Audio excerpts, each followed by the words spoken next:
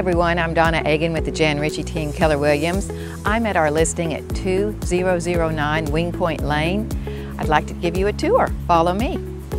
This four bedroom, three and a half bath home offers over 4,500 square foot of living space. Set in the popular Willow Bend Lakes neighborhood, this gorgeous home features numerous renovations. It's nestled in a beautiful park-like setting adjacent to a green belt and offers a picturesque view of the neighborhood pond and fountain. It is also walking distance to the prestigious Glen Eagles Country Club. As you enter the home, you have a spacious formal living room with lots of natural light. It flows seamlessly into the formal dining room, which has beautiful crown moldings and wainscoting. There is also a private study with built-ins off the formal living room. One of my favorite rooms in this house is the kitchen. It's been totally remodeled.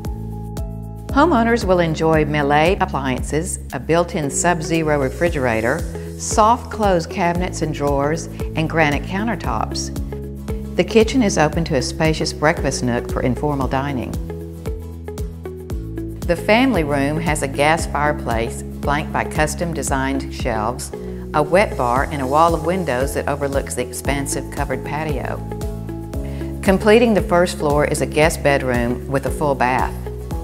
As you head upstairs, you will find the spacious owner's retreat with a cozy sitting area. An abundance of natural light bathes the lavish bathroom with custom cabinets, a large frameless shower, and a spa tub.